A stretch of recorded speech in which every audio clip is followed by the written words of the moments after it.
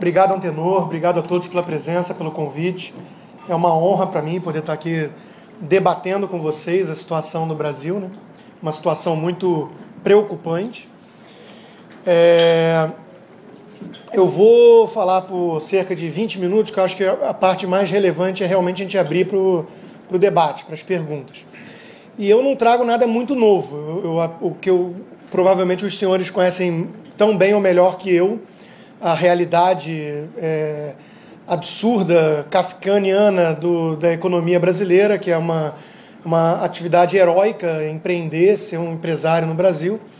E o que eu vou trazer é apenas uma, uma tentativa de concatenar essa, essa visão que, que vocês conhecem tão bem numa historinha que a gente tem que entender de onde veio para saber mais ou menos para onde está indo.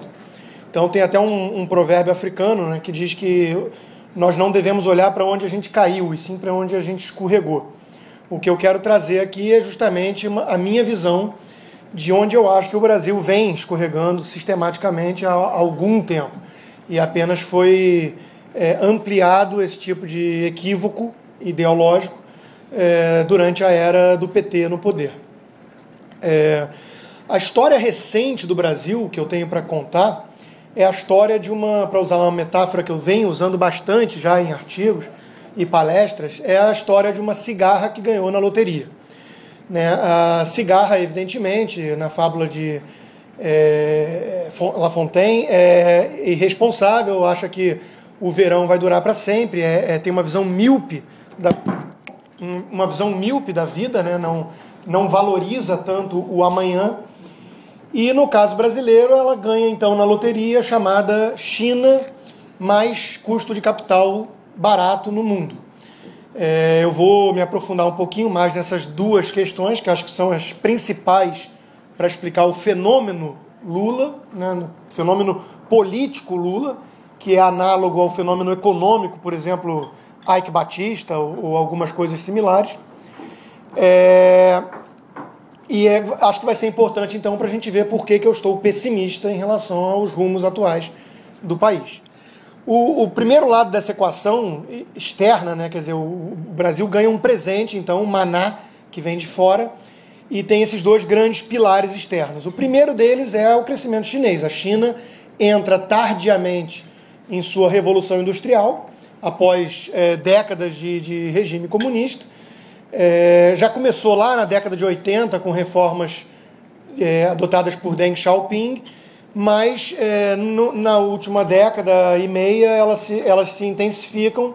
O governo, apesar de ser uma ditadura, abre muito mais o escopo da economia, permite uh, a iniciativa privada com um grau de liberdade muito maior para atuar, e isso faz com que ela tenha uma, um choque de produtividade fantástico. Né? Ela abraça o capitalismo e a globalização com vontade né, em 15 anos.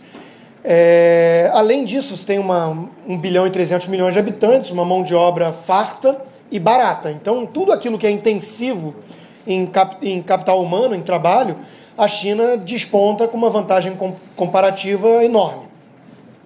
Isso é importante por dois motivos, basicamente, para a nossa história. Primeiro, porque o crescimento de dois dígitos durante mais de uma década da China faz com que haja uma demanda voraz por todo tipo de recurso natural que o Brasil, por sorte do destino, tem em abundância.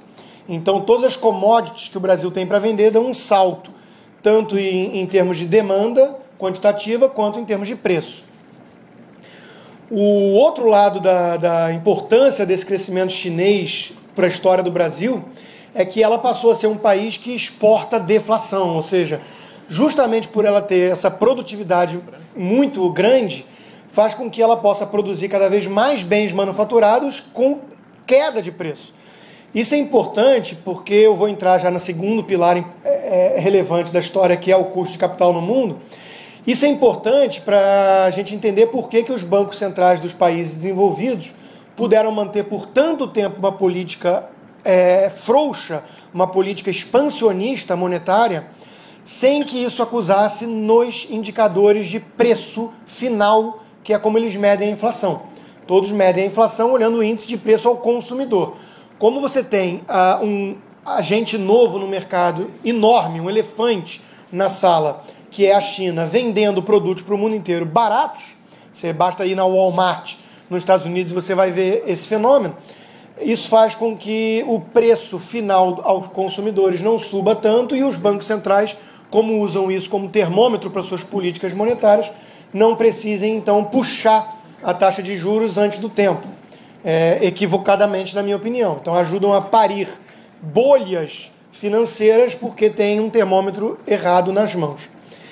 E, e, esse segundo pilar importante, então, vem justamente com a crise de 2008. Na verdade, vinha antes, só para a gente voltar um pouco no tempo, a crise de tecnologia estoura em 2000, 2001, o Nasdaq, né? E como reação a isso, os bancos centrais, como o Federal Reserve nos Estados Unidos, inundam os mercados com liquidez abundante. É, mantendo então o custo de capital barato para poder ver se reativa a economia para evitar então um fenômeno, um, uma queda, uma recessão é, muito acentuada na, na, atividade econômica dos Estados Unidos e dos países desenvolvidos. É, prêmio economistas com prêmio Nobel como Paul Krugman chegaram a demandar isso publicamente. Em 2002 tem um texto do Paul Krugman pedindo uma bolha imobiliária que seja para poder a economia não entrar em recessão depois do estouro da, da, da bolha de tecnologia. Às vezes é preciso tomar cuidado com aquilo que a gente deseja. Ele acabou tendo aquilo. A política de expansionista monetária foi uma, uma das principais causas que produziram a bolha imobiliária em 2006 2007, que finalmente estoura em 2008. Qual é a reação dos principais bancos centrais, incluindo o Fed? A mesma de antes. Né? Para quem tem apenas um martelo, tudo se parece prego. Então eles foram novamente com o único instrumento que eles tinham disponível, que é inundar uma vez mais os mercados com liquidez abundante.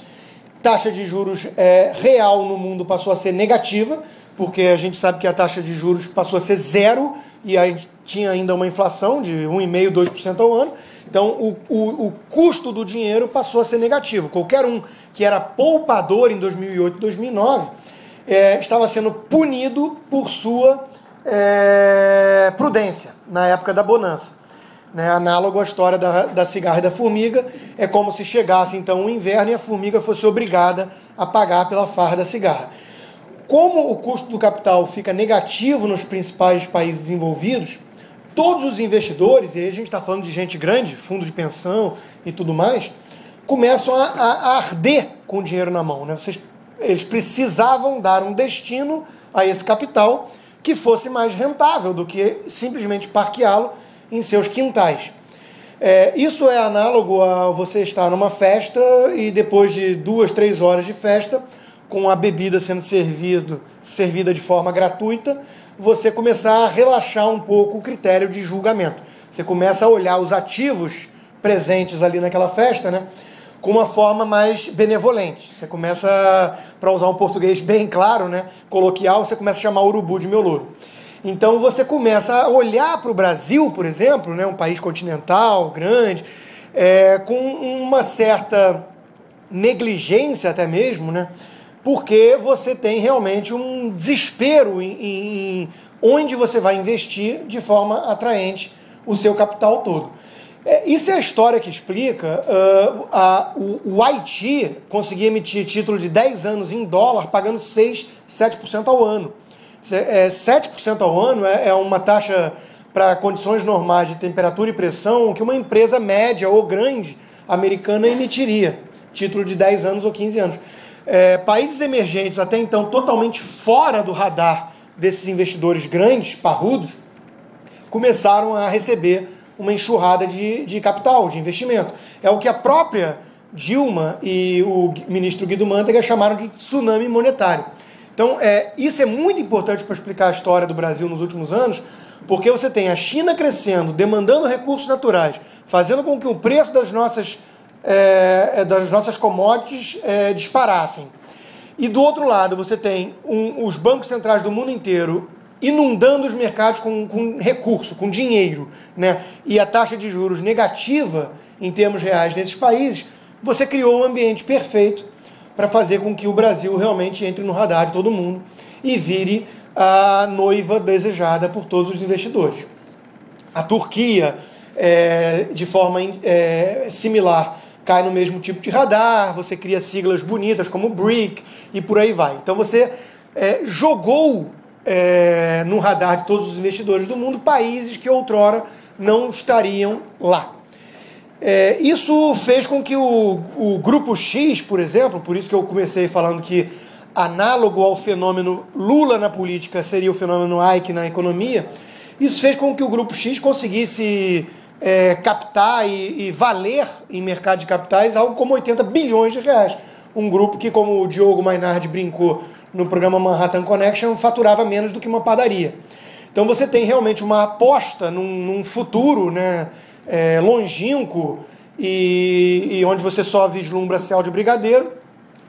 Muito disso por conta desse cenário artificialmente criado pelas principais autoridades monetárias ou pelo fenômeno China acontecendo no mundo. Aí você tem aqui no, dentro do nosso é, é, cenário doméstico dois pilares importantes que ajudam a jogar lenha na fogueira, que ajudam a criar um ambiente favorável para o Brasil, que é a herança bendita, apesar de toda a propaganda contrária à política do PT, que veio da era FHC, que é justamente o famoso tripé macroeconômico. Você tem lei de responsabilidade fiscal, coisa rara no Brasil, você tem um câmbio flutuante, que não necessariamente foi por convicção dos tucanos, mas aconteceu por pressão dos mercados. E você tem uh, um Banco Central com uma certa autonomia operacional, perseguindo uma meta de inflação definida. É, esse tripé macroeconômico faz com que o Brasil seja mais responsável que a média né, nesse concurso de feiura, que não é bem um concurso de beleza. É, e do outro lado você tem o famoso bônus demográfico. Você tem o Brasil entrando ali numa época de jovens é, no mercado de trabalho que justificavam um crescimento econômico sem acusar o golpe de forma instantânea na escassez de mão de obra que faria o custo do trabalho subir e aí e acabaria indo influenciar no índice de inflação. Então você tem esse cenário doméstico colaborando com a, a, o contexto todo internacional fazendo então com que o Brasil seja realmente a famosa bola da vez. É, isso aconteceu ali no auge, em 2007, 2008, né, e estourou, e a crise de 2008 veio essa reação toda, a própria China reagiu de forma muito agressiva para não deixar a crise estourar lá também, e aí 2009, 2010 nós tivemos o auge então dessa euforia toda com o Brasil.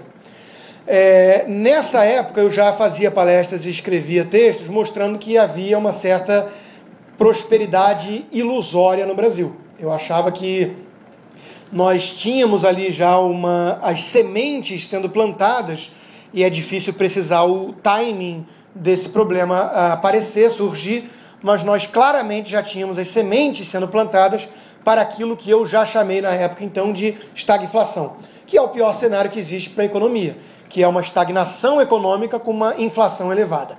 E por que isso?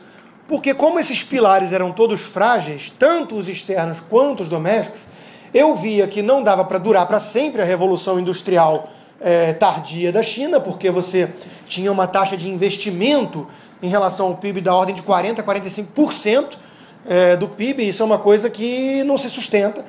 Os poucos casos que nós temos na própria Ásia para comparar, que foi a Coreia e o próprio Japão, é, depois de um tempo entraram em crise séria, porque você começa a esgotar esse modelo, você começa a ter o que a escola austríaca de economia, que eu sou muito simpático, chama de malinvestments. Você, e, e ainda tem um, uma influência muito grande política na, na China. Você tem os bancos controlados pelo governo, você tem províncias com pressões muito grandes políticas de metas de emprego e crescimento econômico para entregar. E tudo isso foi gerando, então, mal investimentos, que é você ir para Xangai, você ir para Beijing e começar a ver seis pontes suntuosas ligando lugar algum a nenhum lugar. Obviamente eu estou exagerando para fazer meu ponto, mas o fato é que você começou a perceber na China o fenômeno de excesso de investimentos. Você começou a ver coisas que não eram mais tão produtivas. Começa a não justificar um crescimento de dois dígitos na economia sem que isso comece a bater é, em, em, em, problemas, né? como escassez de mão de obra qualificada, como inflação e por aí vai. É, além disso, a China estava numa ordem de 20, 21 milhões de habitantes sendo jogados da, é, do meio rural para o meio urbano, quando você tira o sujeito que atua com uma pá inchada e joga ele com uma máquina qualquer, de tear, alguma coisa assim, o choque de produtividade é, é, é boçal, mas você não consegue manter isso nessa mesma ordem de grandeza por muito tempo. Você começa a, ter problemas sociais é, e, e, que ficaram muito evidentes na China, na, na, nos centros urbanos e também no, no meio rural.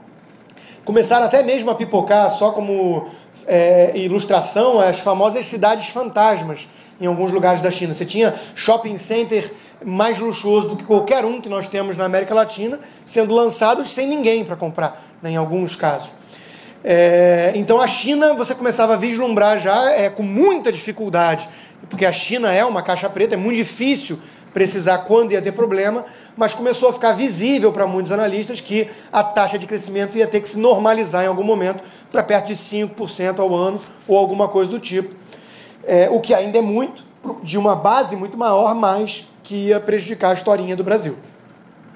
Por outro lado, você começava a ver também que não daria para banco, os bancos centrais dos países envolvidos manterem por muito tempo uma taxa de juros negativa, né? porque isso gera problemas, isso gera bolha especulativa, isso gera má alocação de recursos escassos e, eventualmente, poderia bater em índice de inflação. Os Estados Unidos começaram a ter uma, uma retomada da atividade e aí começou a surgir em tudo, tudo que é tipo de debate, quando então que o Fed, o Banco Central Americano, iria é, reduzir os seus estímulos agressivos ou até mesmo parar de adotar uma política expansionista. É, esse cenário externo, então, começou a rachar e começou a ficar claro que em algum momento, três, cinco anos à frente, essa molezinha que o Brasil pegou não ia estar mais presente. Por outro lado, o bônus demográfico no Brasil ainda é uma realidade, mudanças demográficas não ocorrem tão rápido, mas começa a ficar claro também que não dá para manter para sempre esse tipo de mercado de trabalho aquecido e principalmente com uma mão de obra muito pouco qualificada. Né? Você começa a ter um crescimento incrível na construção civil, por exemplo, onde tem um apagão de, de capital humano, porque simplesmente você não cria da noite para o dia engenheiros, você começa a ter que inflacionar o mercado de trabalho e pagar salários muito altos para pessoas que realmente não tinham nenhum tipo de qualificação maior. Resumo da ópera: não houve nenhum crescimento de produtividade no Brasil nos últimos 10 anos expressivo, mas houve um ganho salarial enorme.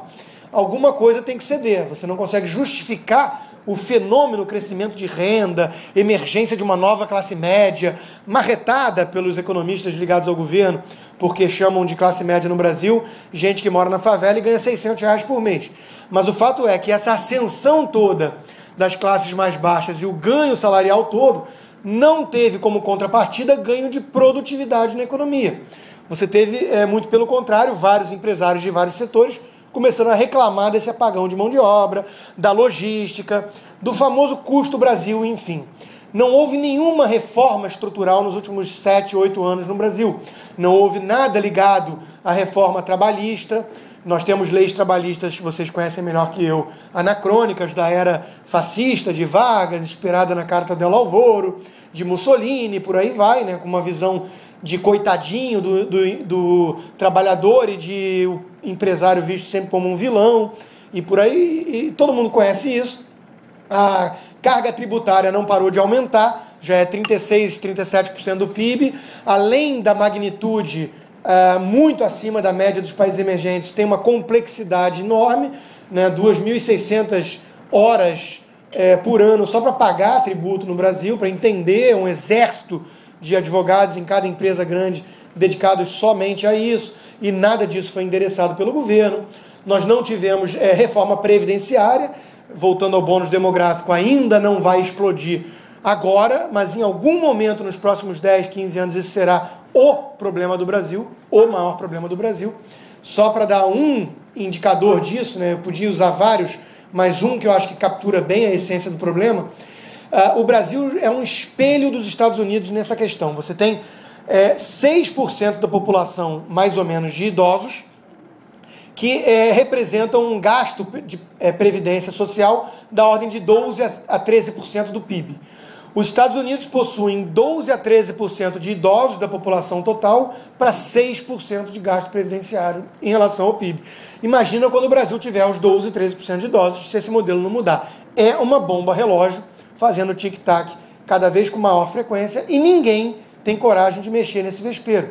Tem é, privilégios do setor público, é, mas o grande problema está mesmo na iniciativa privada e isso vai explodir em 10, 15, 20 anos no máximo e ninguém mexe nisso.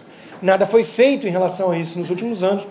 Então, tudo aquilo que compõe o custo Brasil, previdência, reforma trabalhista, reforma tributária, nada disso foi mexido pelo governo, não tivemos nenhum choque de produtividade. Não é que de repente a gente acordou com nossos funcionários falando inglês, mexendo em máquinas complexas alemãs, italianas, nada disso aconteceu. É o mesmo tipo de funcionário que tem uma péssima qualificação, mas que ganha três vezes mais. É, isso, a conta não fecha.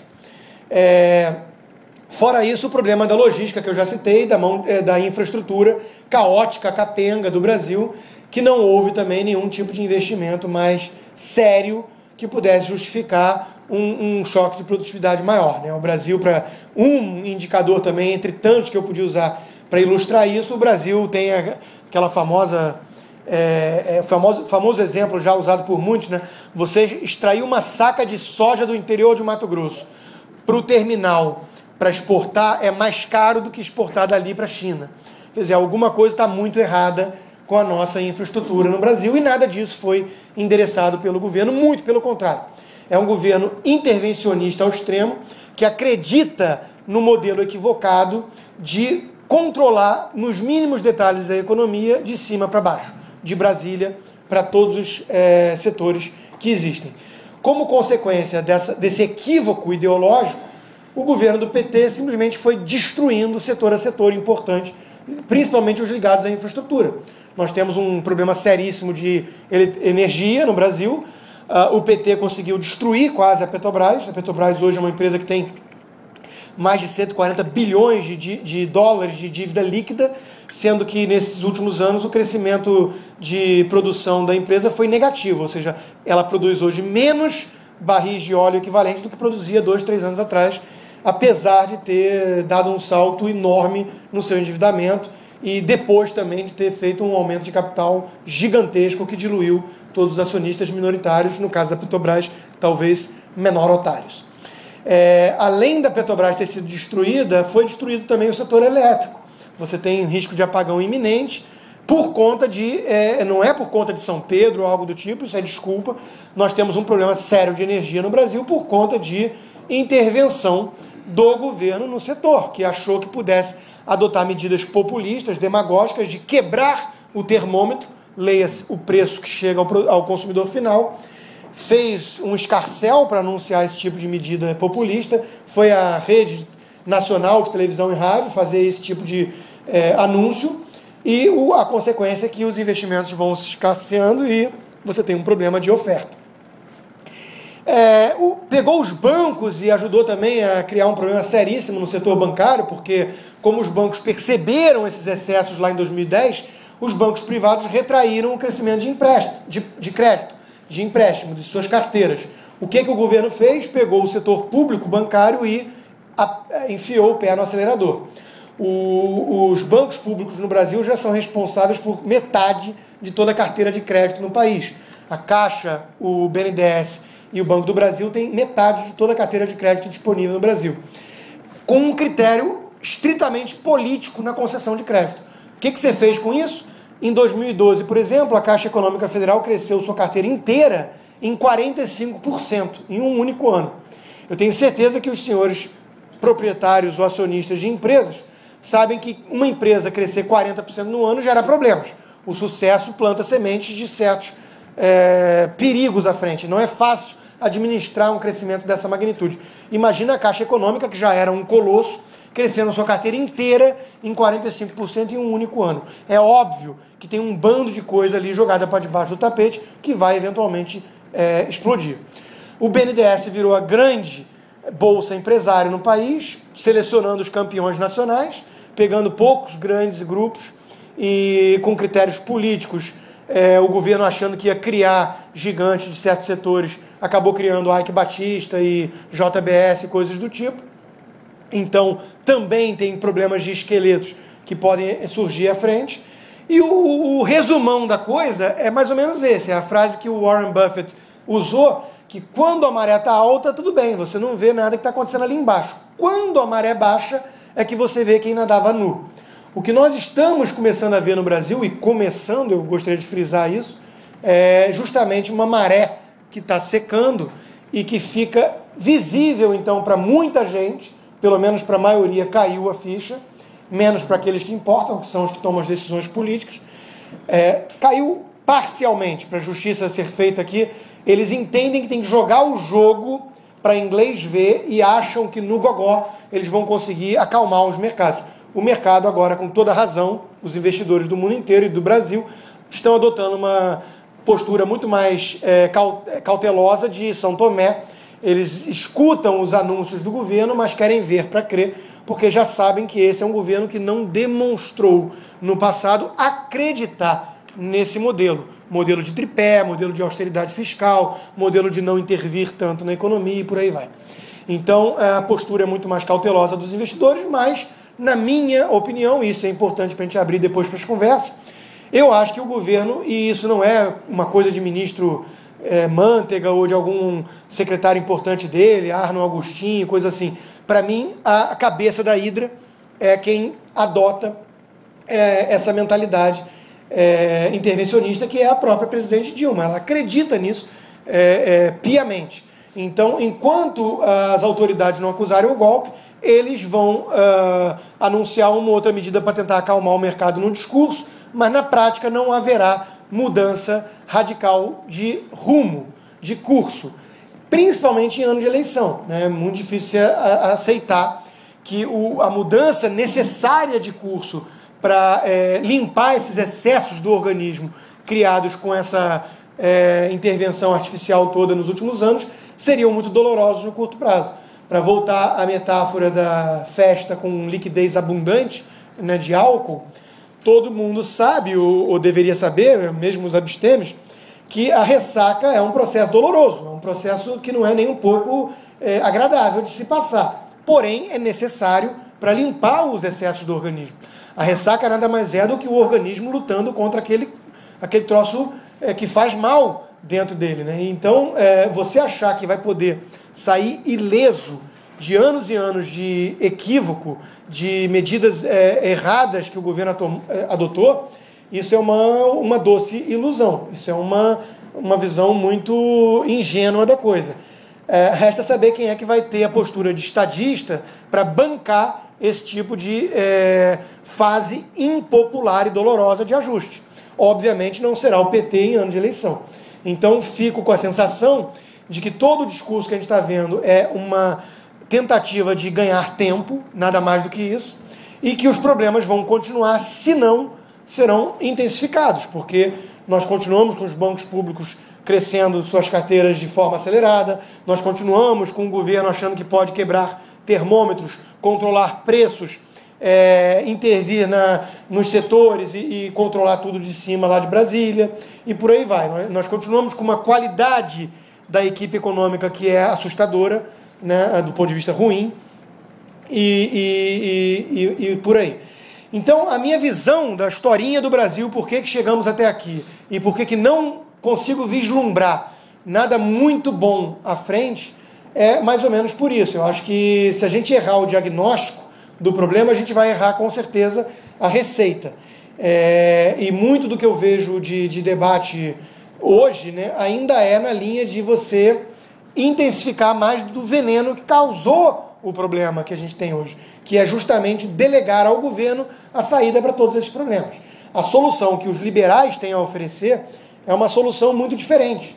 É uma solução que é, pode ser muito bem resumida pela frase que ficou famosa é, de um empresário respondendo ao ministro Colbert de Luís XIV, que era o governo intervencionista por excelência na França, é, quando ele perguntava o que mais nós podemos fazer por vocês. E a resposta dele foi: pelo amor de Deus, saia da frente. Né? Laissez-faire, laissez-passer. Então, a, a, o, o, o laissez-faire que os liberais defendem, que é o mínimo de intervenção econômica possível do governo, é justamente essa visão que nós liberais temos de que Adam Smith capturou tão bem na sua metáfora da mão invisível. A economia tende a funcionar muito melhor e fluir de forma muito mais dinâmica, criando renda e prosperidade para a sociedade, quando há menos obstáculos criados pelo próprio governo. O governo deve se retrair, cuidar de poucas áreas importantes de forma satisfatória, como segurança, como o império da lei e por aí vai, e eventualmente alguma coisa de infraestrutura. Alguns liberais que fazem esse tipo de concessão. O fato é que nós estamos mais distantes desse modelo proposto pelos liberais do que Plutão da Terra. Né? E ao mesmo tempo nós temos que ouvir que os problemas do Brasil são todos eles frutos do neoliberalismo e por aí vai, que é um é fantasma criado pela mitologia de esquerda no Brasil. Exatamente. Então, é, o, o, o que nós estamos vendo hoje no Brasil é, uma vez mais, a insistência nesse mesmo erro de sempre. Claro, como eu disse, o PT conseguiu piorar aquilo que já era ruim. Né? O Fernando Henrique é, um, um, o governo do PSDB foi um governo social-democrata, portanto, de centro-esquerda.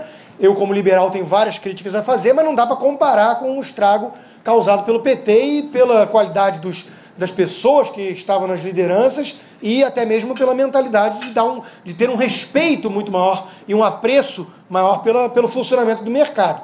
É, o PT, ele na verdade resgatou aquele velho nacional desenvolvimentismo já tão é, fracassado no próprio regime militar.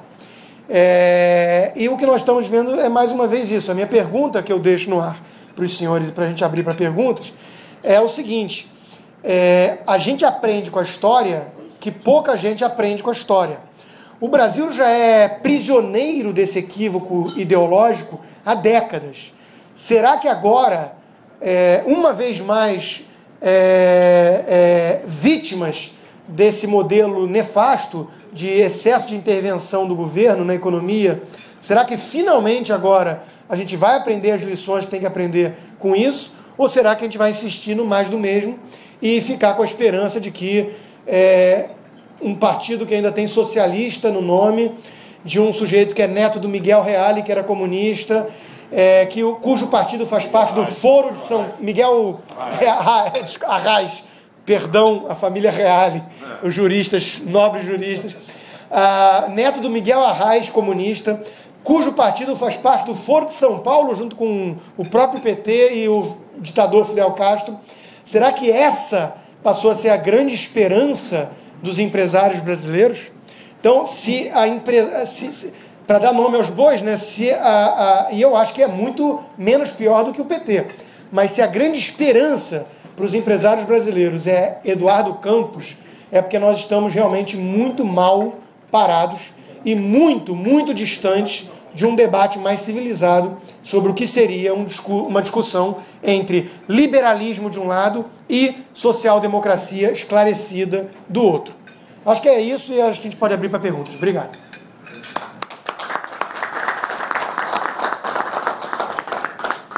Falei um pouquinho mais.